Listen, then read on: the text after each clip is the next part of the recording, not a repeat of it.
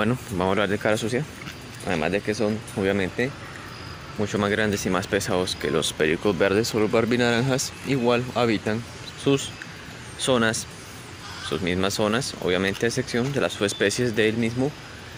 Pero el cara sucia, el cara sucia, el cara sucia sucia, pues más que todo habita desde México hacia abajo, Venezuela y Brasil y partes de Ecuador, más que todo de México para arriba, entre otros países, pues habita pues su primo, por así decirlo, que es el loro atolero, se parece mucho a él, simplemente que es más colorido, así como las diferentes subespecies que hay de pericos verdes.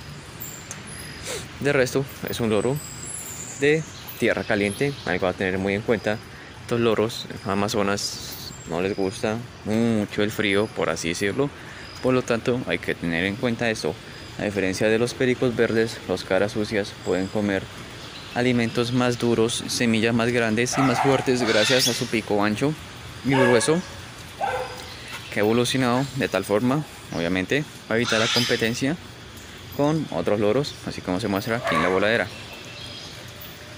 Tienen un periodo de vida bastante largo, pueden llegar a vivir más de 20 años con buenos cuidados. También son loros que tienen la capacidad de hablar tanto como sus primos los atoleros.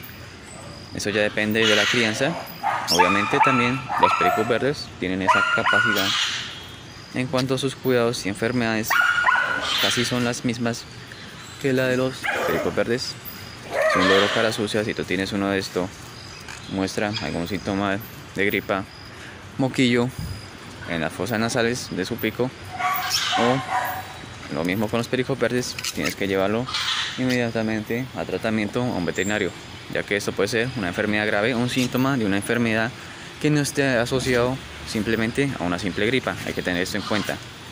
También hay que tenerle buenos juguetes y darles mucho cariño.